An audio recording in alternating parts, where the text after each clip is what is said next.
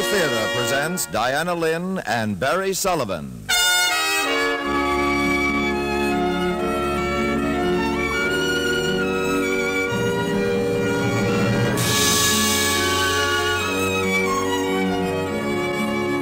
From Hollywood, the Mutual Network, in cooperation with Family Theater, presents The Stupid Saint, starring Diana Lynn. And now, here is your host, Barry Sullivan.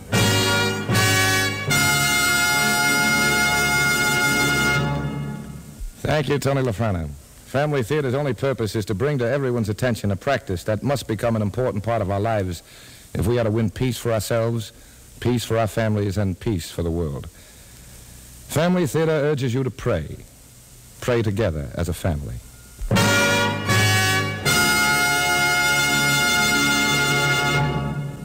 And now to our transcribed drama, The Stupid Saint, starring Diana Lynn as Pauline.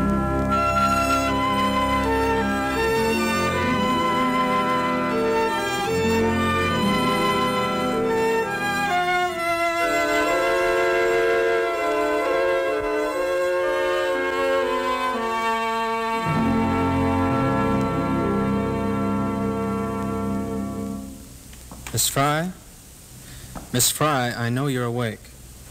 Open your eyes, please. If you make it necessary for me to raise my voice, it'll simply disturb the other ladies in the All ward. right, Doctor, I'm awake. What do you want? How do you feel? How should I feel? Oh, a little weak, I guess. All right, I feel a little weak. What's the screen doing around my bed? So we can talk privately. How many other beds are there in here? Five. But just now only two more of them are occupied. Are they cases like mine? No. Mrs. Goggin across the aisle has a liver ailment, and the lady next to you, Miss Cartmel, suffers from arthritis. So all we've got in common is being on the county, hmm? That's not a very pleasant way of putting it. No, but there it is, isn't it? Miss Fry, I find it interesting that you can face this situation squarely, but that you... Do the others know why I'm here? No. How soon can I leave? I'm afraid that's not up to me. Oh, well, who is it up to? Miss Fry, in cases of this kind, the hospital authorities have an obligation to, well, to make every effort to, Oh, uh, yes, to prevent the patient from trying it again. roughly, yes. To heal the spirit as well as the body. Well, Well, it must be wonderful to do that, Doctor. How does it feel? Miss Fry, You just wheel them into the operating room and lay open their soul? You take a little stitch here, a little stitch Miss there, and everything's great again. you're not acting very sensible. yeah, but you're doing fine. if you don't want the others to know why you're here... I don't care what they know. Doctor, you come in here with your white coat and your clean hands, and you're going to save me. How idealistic. There's nothing idealistic about it. You're a sick woman. Then let me die, why can't you? That's all I wanted. I just wanted to die.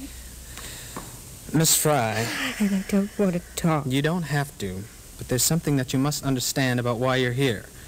When a person attempts what you've attempted, they can hurt quite a few people besides themselves. I don't have any family. I don't have any. That's not what I mean. It wouldn't hurt anybody, and it would stop this terrible loneliness. This time it was sleeping pills, but the next time you might decide to turn on gas in a building where 50 other families are living, or throw yourself out of a window onto a crowded street. That's what I mean about hurting other people besides yourself. Well, you worry about the other people, Doctor. They never worried about me.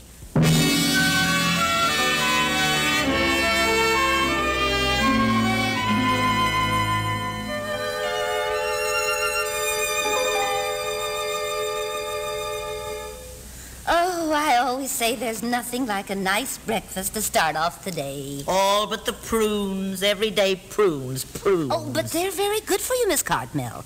Dr. Oliver says that they're, they're especially good for the blood. You're thinking of spinach. Oh, no, no, no. I heard that long before Dr. Oliver. All my life. Oh, yes. Prunes are good for the blood. Haven't you heard that, miss? Uh, miss, you... Oh, it seems I heard they were good for something. Jessie, wait until I tell that to your friend, Mr. Colby. Good for something. but nobody knows what. Well, Mr. Colby is very fond of prunes. That's not what he told me. Well, it's what he told me. Just yesterday afternoon in this very room, I was saying to him, Mr. Colby, it's getting so I dread the thought of breakfast and those prunes. And he said, I know how you feel, Miss Cartmel. Well, he's always trying to please everyone. you just ask this young lady. Isn't that what Mr. Colby said? Is he the old man that came in here with the checkerboard? Don't let him hear you call him old. That's the one. He's very sensitive about his Oh, well, age. I'm afraid I didn't pay much attention to anything he said. Well, he was very explicit about the prunes. I must say I'm not surprised. It's just like him. If you ask me, young lady, I think he just eats them to keep up his strength for checkers. you know, he plays over 20 games a day. What's wrong with him? He just likes it. No, I mean, why is he here in the hospital? Oh. What is he suffering from? I think he's just old and not very bright. Oh, now don't let him hear you say that. He did have some stomach trouble for a while, but that's all cured. I think they just let him stay around. Oh, my. 9.20. Oh, time for Janet Burke. For what? On the television, Janet Burke. Girl intern. They let us watch it down in the lobby every morning. Oh, for heaven's sake, where are my slippers? Under your chair, and if they were snakes, they'd bite you. Uh, like to come along, miss? No, thanks. well, it, is the worst thing you ever saw, but I don't think the man who writes it was ever inside a hospital. are you sure you won't come? no, I. Uh, Lots of laughs. Yeah, well, I can't. I'm confined to the ward. Oh. Oh, I forgot. Come on, Jessie. Yes. Uh, we'll bring up a newspaper on the way All back. righty, Say, where's everyone going? Oh, Mr. Colby. Uh, we're going to see Janet Burke, girl intern. Mr. Colby, I've got a bone to pick with you. Uh, did you tell Miss Cartmel you were tired of prunes? Oh, I hardly think so. Mr. Uh, see, Now, what did I tell you? I see? may have said that it's possible to get too much of a good thing. Exactly. And prunes are a very good thing, Miss Cotton. Oh, Mr. Colby, I For knew heaven's you sake, liked him. Jessie, I... come on, Oh, we'll yes, miss yes, Janet we'll do that. yes, we... How about some checkers this afternoon? yes, would this afternoon will be dandy. Would uh, you like a game, young lady? No, I'm afraid not. We were introduced yesterday. Yes, I remember. Uh, Miss Fry, isn't it? Look, I'm sure your intentions are very kindly, but I really just don't feel like talking. You from the Midwest? Yes, Ohio.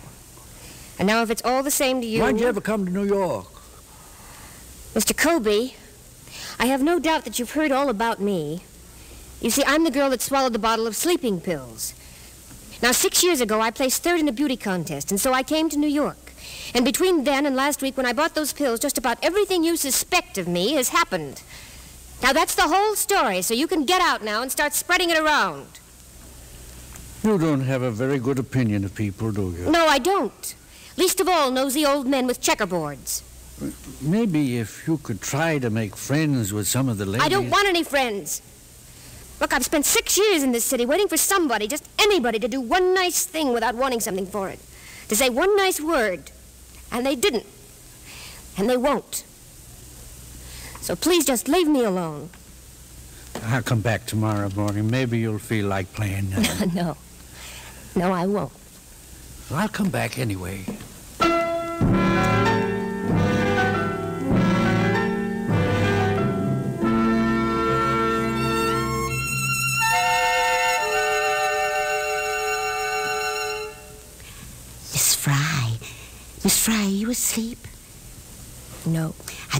For Jessie to drop off. I, I wanted to tell you something. What about? You see, Jessie's awful innocent about the world, and she'd be scandalized to hear me say something like this, so I wanted to be sure she's asleep.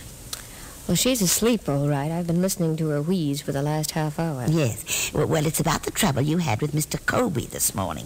You see, when you shouted at him and all, oh, that was a big mistake.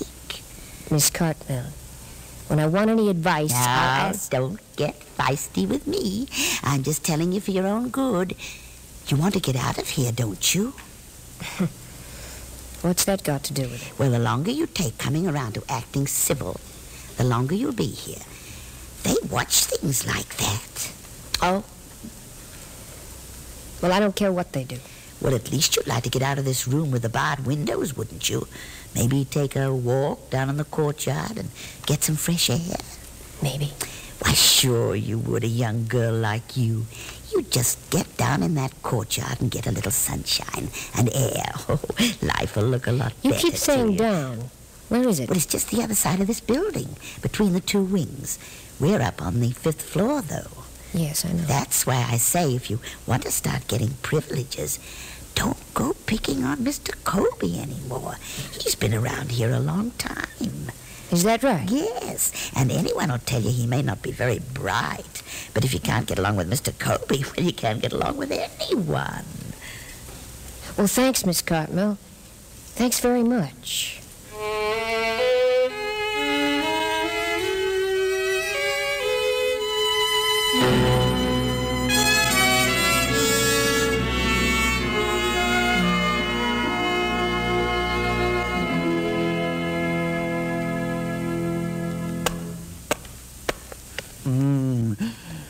that was a good one. That was a good one indeed. Three at a clip.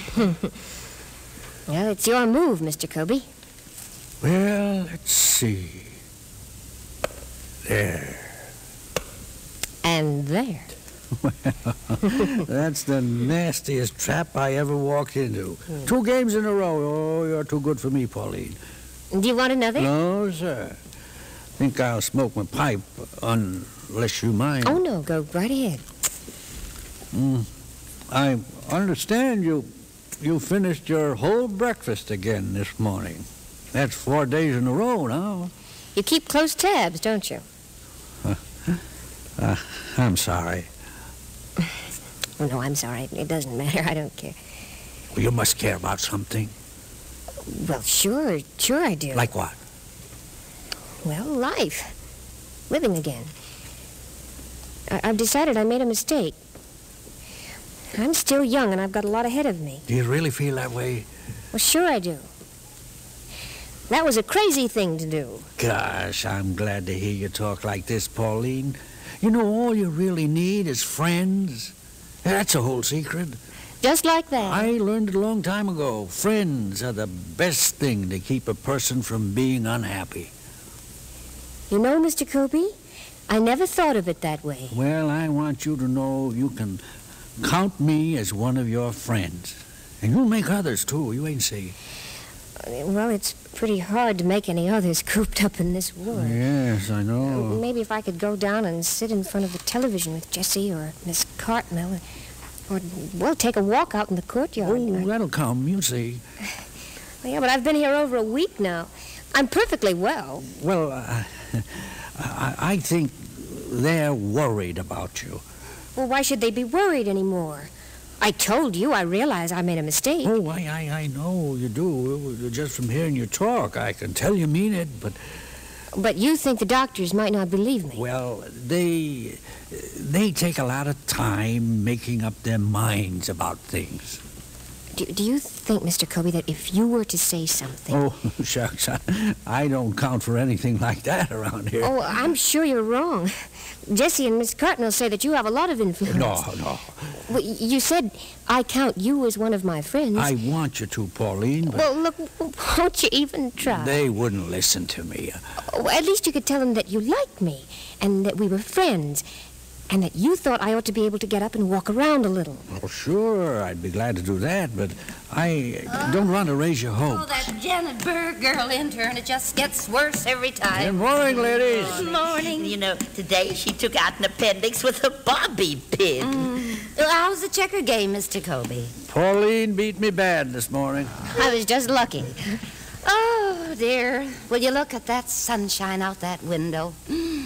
Oh, if it weren't for my liver, I could jump through a hoop. If it weren't for my arthritis, I could hold it for you. Oh. Sure is a beautiful day.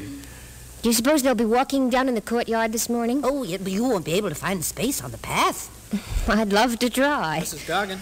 Oh, my goodness, Doctor, is it Wednesday again? Good Morning, Dr. Doctor. Oliver. Morning, Dr. Oliver. Mr. Colby, ladies. Time for another test? I'm afraid so, Jessie. They're waiting down in the lab. Oh, that's all this place is. Tests and tests. and prunes and prunes. Well, I like the prunes. Yeah, I'll be right along, Doctor. Oh, uh, say, uh, Dr. Oliver, Yes? uh, have you got a moment, please? There, there's something I'd like to ask you. Well, I'm pretty busy, Mr. Colby.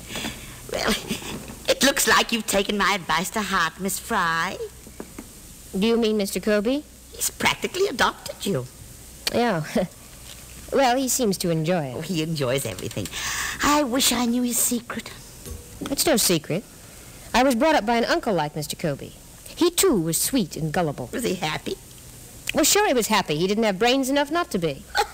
Sometimes I wish I had a few less brains. Don't kid yourself.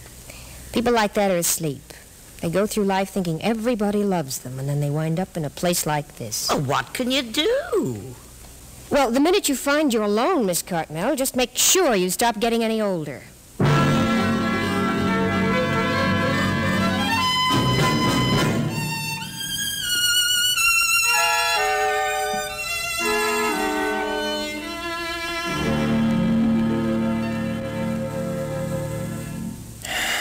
Now, Miss Fry.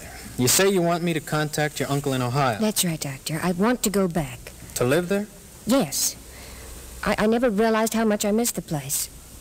It's, uh, well, it's taken this thing I've been through to make me see it. What will you do when you get home? Oh, we'll take some kind of job, I guess. I, I learned typing All in right, high school. I Fry. could. I'll contact him, but I don't believe you. Well, it's true. In taking those pills, I realized I made a mistake. I'm sure of that. I only wish I knew where you think you made it. What is that supposed to mean? Nothing. Nothing, Miss Fry. I'll write to your uncle, and if that's all... Well, there, yeah, th- th- there's one other thing, Doctor. Yes. Well, I, I've just got to get out of this ward for a while. I've got to get a breath of fresh air. We should be able to arrange that. Oh, good. Because if I could just take a walk down in the courtyard with Jessie or Miss Cartmel. Or Mr. Colby, Oh, yes. Why do you mention him? because he mentioned you. That's what he came out of your ward to speak to me about yesterday. What was that? He said you needed to get a breath of fresh air. Oh, well, I guess I did say something about it in front of him. We play checkers every morning, So you he tells me. yeah, he, he's a wonderful old man. You may not think so, but he is. I just said I thought so. Take it easy. Is this the way you treat people just because they're broke? Just because they're on the Oh, counter? you love that phrase. You twist don't everything, Doctor, because they can't fight back. All right, back? Miss Fry. You can go walking in the courtyard. Now let's let it go at that.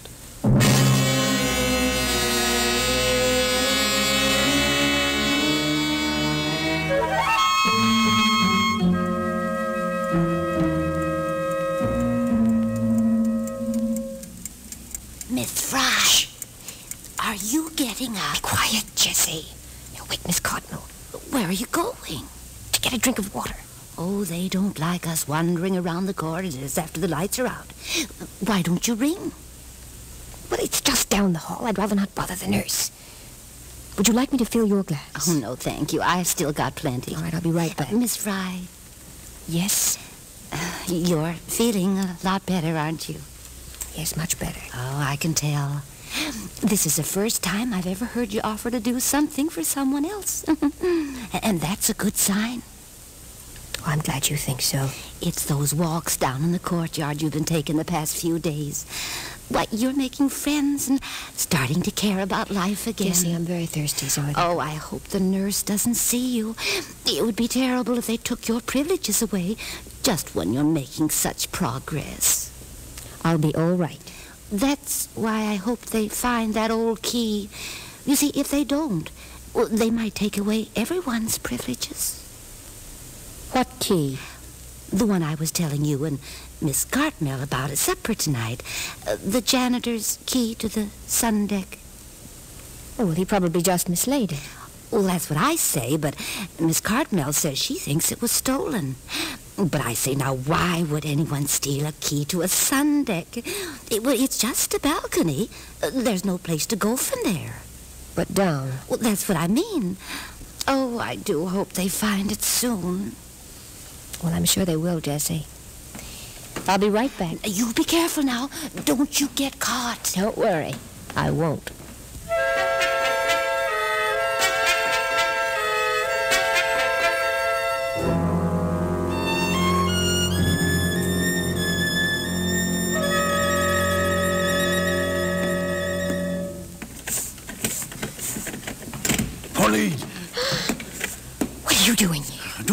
Pauline.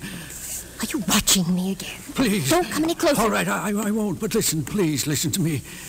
I've been down in the chapel because when I heard that key had been stolen, I was afraid it might have been you, and I went down to pray that it wasn't. Uh, Don't do it, Pauline. You've got a whole life ahead of you. A whole life of what? Believe me. What? A life in a place like this? That's not what counts. Yeah, well, it counts with me. No. Keep away from it. It's friends, Pauline. You've got to understand that. People you can do go for. No, you don't Let understand. go. If, if I could just make it. Uh, see how simple it is. Mr. Colby, what's wrong? I, I know you could. Mr. Colby. Mr. Colby, what's the matter?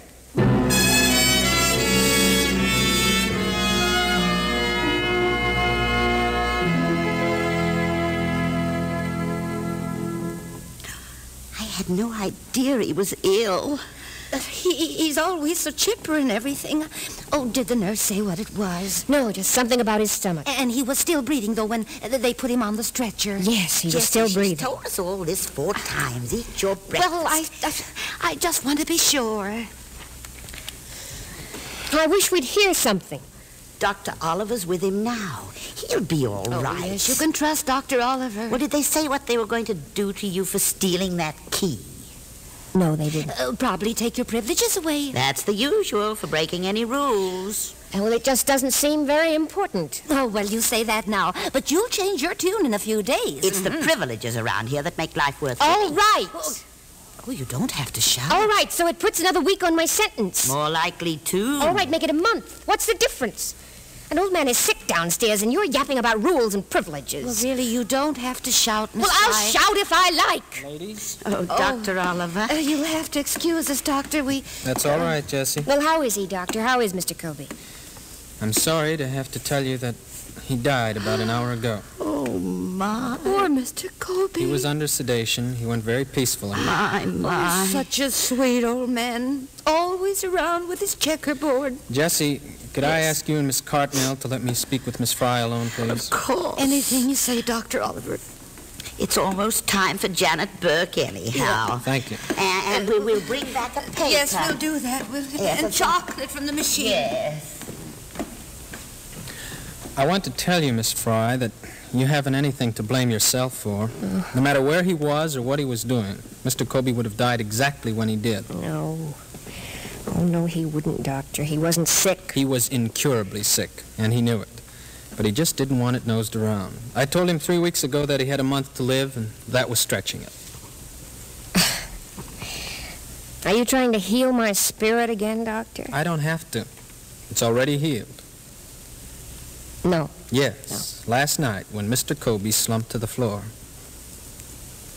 Oh, how I wish you were right. I am Miss Fry, and you know it. Tell the truth. Something happened last night, didn't it?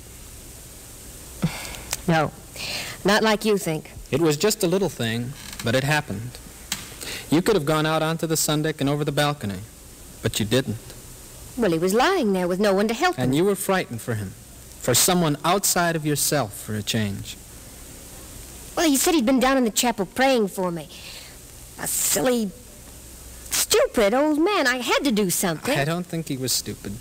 He was simple and fumbling, always trying to do things for people that they could do better themselves. I understand he wasn't even a very good checker player. He was a terrible checker player. But I'm not convinced he was stupid. He made friends of people. And I think even more important, he made them make a friend of him. How do you mean? Well, the way you made a friend of him last night, by trying to help him when he needed it. That's why you feel like living again. All right, I do feel like it. But I'm still not sure why. You say Colby was praying for you in the chapel? That's what he said. Didn't you talk to him? He never regained consciousness. But I wouldn't be surprised if he wanted you to have this. What's that? A slip of paper we found in the pocket of his bathrobe. He must have taken it down to the chapel with him. Lord, make me an instrument of thy peace. Where there is hatred, let me sow love. Where there is injury, pardon. Where there is doubt, faith. Where there is despair, hope. Where there is darkness, light. Where there is sadness, joy. Divine Master, grant that I may not so much seek to be consoled as to console, to be understood as to understand, to be loved as to love. For it is in giving that we receive.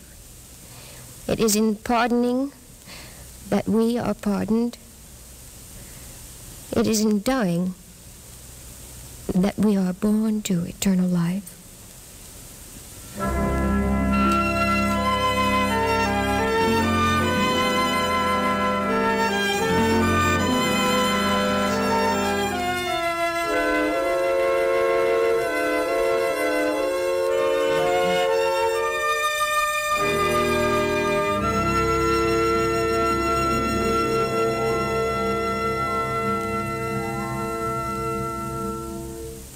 This is Barry Sullivan again. They say that every family has at least one skeleton in the closet. All right, who knows? Maybe my ancestors were pirates, and maybe your old Uncle Harry, who turns up every few years, never did a day's work in his life. Well, if you're going to start worrying about a family skeleton, it's good to remember the neighbors next door may have a bigger one, only they keep it in a better closet. That's all. Yes, we all hold highly with respectability. And the idea of living up to the Joneses keeps a lot of people awake nights. That is, until they come to a realization that all the time the Joneses are usually trying to keep up with them. You know, a family can be happiest when they have their own high standards, their own family life within their home. And the best way for complete unity in a home is a family prayer. Family prayer is a secret every home can have for happy family life. Praying together as a family means God's daily blessing. And when you live up to the daily practice of a family prayer, you have indeed the best example for a happy home that any family can give. For the family that prays together stays together. More things are wrought by prayer than this world dreams of.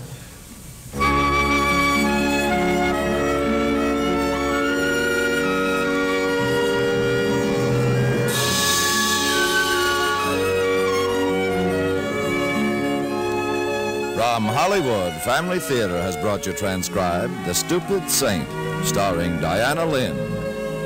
Barry Sullivan was your host. Others in our cast were Thomas Laughlin, GeGe Pearson, Marjorie Bennett, and Herb Butterfield. The script was written and directed for Family Theater by John T. Kelly, with music composed and conducted by Harry Zimmerman. This series of Family Theater broadcasts is made possible by the thousands of you who feel the need for this type of program, by the Mutual Network, which has responded to this need, and by the hundreds of stars of stage, screen, and radio who give so unselfishly of their time and talent to appear on our Family Theater stage. To them and to you, our humble thanks. This is Tony La Frano expressing the wish of Family Theater that the blessing of God may be upon you and your home, and inviting you to be with us next week when Family Theater will present The Visitor, starring Edmund O'Brien. Dorothy Warenskjold will be your hostess. Join us, won't you?